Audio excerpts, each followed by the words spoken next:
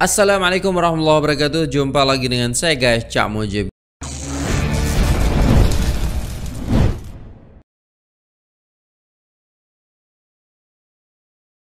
Bagaimana kabar teman-teman semua? Semoga senantiasa dalam lindungan Allah Subhanahu wa taala, dijauhkan dari segala berbahaya, malapetaka, bencana dan balak serta berbagai macam penyakit. Amin amin ya rabbal alamin. Oke okay guys, di sini ada sebuah video yaitu Foket makan kacang pool di Putrajaya. Oke, saya kurang paham ini kacang pool ini apa gitu kan. Jadi penasaran banget dan ini kiriman daripada kawan-kawan sekalian yang ada di Instagram dan juga di WhatsApp. Jadi langsung saja kita play videonya. Let's go. Alright, di sini dari channel Foket guys. Kacang pool apa ya? Oh. Ni nak try kacang pool lah. Tapi kat Putrajaya ni Okay Yelah kan kacang pool kan daripada Johor. Tapi nak pergi Johor macam jauh sangat pula. And korang pun Cantik tak nak kan pemandangannya So kenalah makan Cari makanan dekat Putrajaya je Nasib baiklah ada kacang pool Larkin. Ha, Dekat Presin 9 Apa namanya tu? Medan Selera Sri Teja. Kat situ ada kacang pool. So apa kata kita pergi try kacang pool kat situ Jom. Woi, cantik ya pemandangannya. Ini kacang pul maksudnya macam mana eh?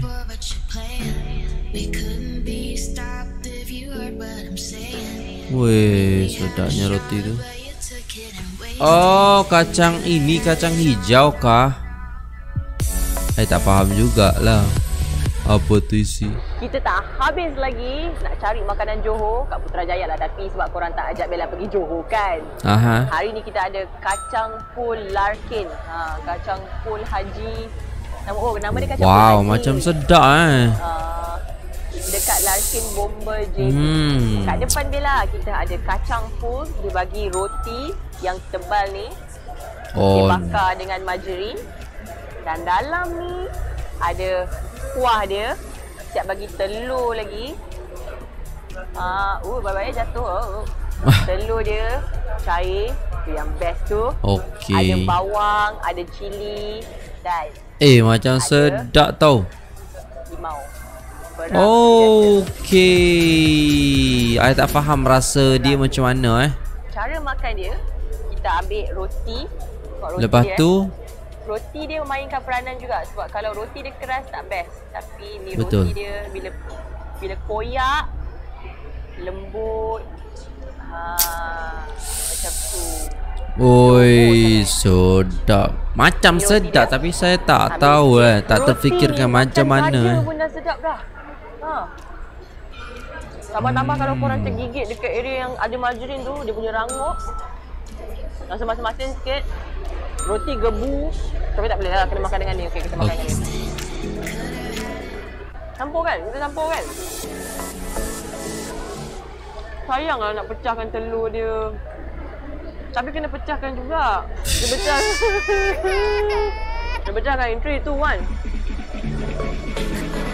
Alright. Tak pecah. Degil je telur. Degil. Um, Telur dia tak nak pecah Okay. Ha, itu dia telur dia, telur kuning dia. Telur kita ambil. Kenapa saya tak suka kalau telur macam, macam tu eh? Saya suka telur yang matang. Memang ada matang lah. Cili dia semua. Ni apa? Ha, ada carrot sekali. Carrot ke ni? Bukan, bukan carrot. Ini cili. Wow. Oh no. Okey, dia, dia? bagi tujuh. Daripada sepuluh. Rasa dia pernah tak tahu nak cakap sebab Nak try sekali lagi sekejap eh? Yang penting nampak isi daging dia. Tu. Oh daging. Isi daging Eh apa dia? tu ku Apa Apa apa? Gak ngerti apa namanya. Perahan limau dia lagi Berarti ni asin ya guys Menaikkan selera kita Sebab ada rasa masam Dicampur pula dengan cili sikit Cili ni pun tak pedas Tapi bila kita makan dengan cili Dengan bawang dia Dia letak tu at least ada rasa bawang mm-hmm. and then ada bau cili tu okay. yang menaikkan selera kita. Aha. Ni yang kacang dia. Oh tu kacang, kacang. pul tu.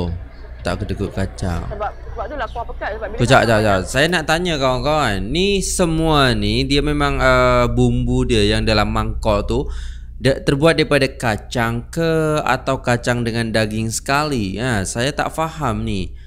Dan saya juga tak uh, tak boleh terka macam mana uh, rasa dia. Mungkin mungkin uh, macam masin ataupun manis ke macam mana. Tapi kalau kita tengok daripada telur, tadi ada telur dan lain sebagainya, berarti mak rasa dia memang uh, sedap.